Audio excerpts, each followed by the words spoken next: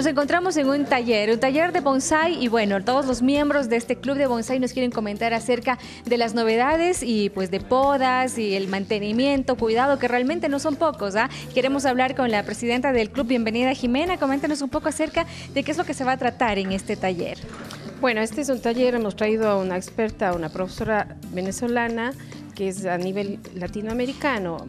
Tenemos ya nuestros bonsáis de algunos años que trabajamos, vamos esta vez a podarles, a darles mejor forma, a volverles a sembrar para que vayan mejorando. Esto no se termina nunca, cada vez vamos haciendo mejores nuestros árboles. Nuestro club ya tiene 27 años, este rato estamos con unos 22 socios en el club, eh, cada vez van eh, entrando personas que les interesa nuestro, nuestro arte, nuestra visión, nuestra locura, que es realmente los bonsáis son una locura.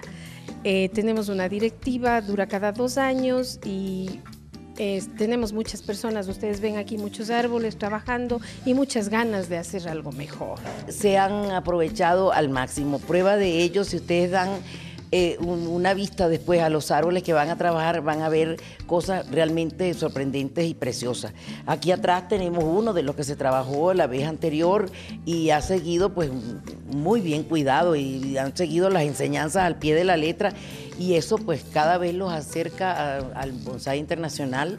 De hecho, tanto Cuenca como Guayaquil, que son miembros de la Federación Latinoamericana de Bonsai, están a nivel mundial y aparecen en todas las páginas y siempre pues estamos haciendo el intercambio. Es muy satisfactorio verdaderamente ver, ver plantas buenas, o sea, tenemos un trabajo hoy de locura, de eh, mucho trabajo hoy, mañana y pasado